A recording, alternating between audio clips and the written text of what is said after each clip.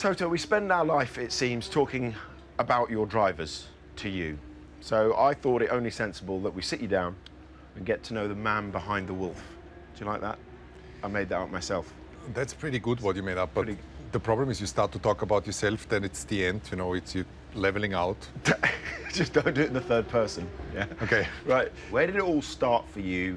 Um, take us back to the beginning, to your childhood. It was a tough upbringing. My father was very ill when he was young, and he died um, when I was a um, young teenager. And um, there wasn't a lot of financial means. And if you grow up in a city where, where you can see that in front of you, but you haven't got yourself, it's, it's difficult. To the, the great surprise uh, of um, myself, I, um, I made the A levels when I was 18 and decided to be a racing driver and study econ- economics Yeah. at the Vienna University. And the race driving was so so, the studies were even worse. and uh, that is why I decided then to um, uh, start to work for a company and earn my own money. So you, so you, so what came first? Your, lo- your love of racing, for example. When did that start? That was a sheer coincidence because I was um, with uh, some friends. We were visiting um, uh, Amsterdam. Don't won't ask why. Don't, don't Yeah, ask why. on. And we were driving back, um, passing the Nürburgring, and I was fascinated by the environment uh, and and loved uh, cars and drivers uh, then, and decided that I want to give it a go and found out about everything and. Um, we decided to buy myself a Seat Ibiza, you know, a tiny Yeah, little yeah, Seat car, and I started to race the car.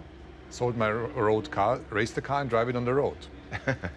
and this is how my, my racing started. I had a brief spell in KFC.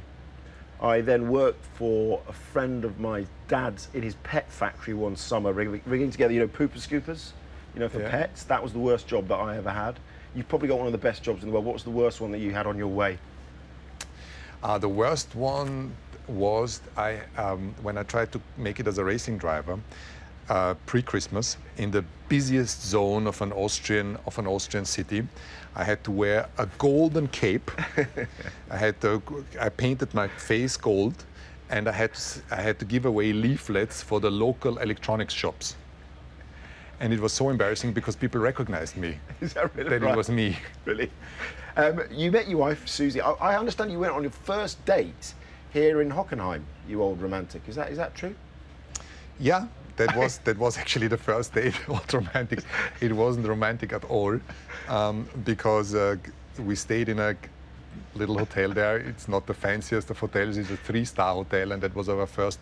Uh, she wouldn't be happy if I would go into the detail there, but it was our first uh, uh, evening together, and so that's why coming back to Hockenheim has quite some romantic spin to lovely, it. lovely. Lovely. Who'd have thought that Hockenheim would have a romantic spin on it? But she's doing so well for herself now. She's, she's obviously very ambitious, successful, independent in her own right. She was always pretty clear that um, after having had the baby, um, that she wanted to do something entrepreneurial with a long-term plan, and uh, then the opportunity with Formula E happened, and uh, she's uh, she's doing that pretty well. She's been uh, listening to me the last five years, um, but I don't want to patronize her in, in any No. way because she doesn't need it. She she has a Yeah. she has a good heart, she has good values, and and um, a good strategy. And finally, what does the future hold? You've, you've, you've come this far. As I said, you're running the most successful team of the past few years, the turbo hybrid era. But what, what do you see yourself doing in five, ten years' time, Toto? Would you like to take a, you know, a, a greater role in the overall running of the sport? Do you want to get out? Do you want to be the family man? What, what, what does a man in your position want to do? I haven't decided yet. Uh, I, I will take a decision and, um, next year.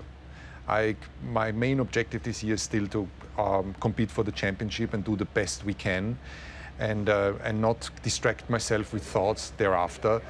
But it's all in the open, whether, whether I'd like to stay in Formula One in whatsoever role or go back to my investment, investment business or just um, tramp the world for six months and and uh, look at the nice places and not wake up every day with the stress of needing to perform in a race. I don't know. Toto, thank you, thank you. Really appreciate you taking the time to talk to us and best of luck for the weekend and the rest of the season. Thank you. It was nice.